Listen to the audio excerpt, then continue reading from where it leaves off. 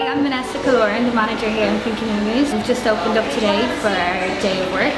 Uh, we opened recently on the 12th of May. The opening has been brilliant so far. Everyone's so happy and friendly finally that we've opened. Suggestions are definitely welcome at the moment trying to add on stuff to our menu to keep everyone happy. We're hoping to cater for everybody.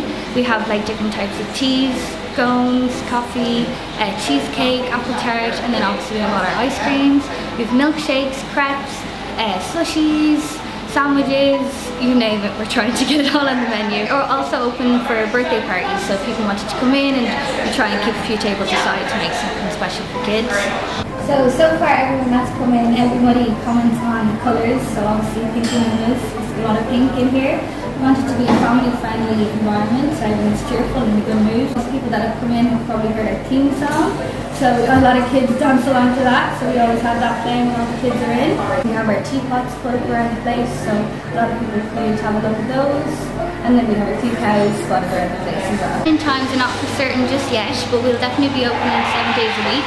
At the moment we're opening from 9 until half 7, but it could change because we're just trying to figure out what works for everybody and keep everyone happy. Uh, but once we know, we'll be definitely posting up on Facebook and Instagram and all our social media accounts. We hope to have everyone in. Everyone so far has been brilliant and uh, we hope to see you all soon.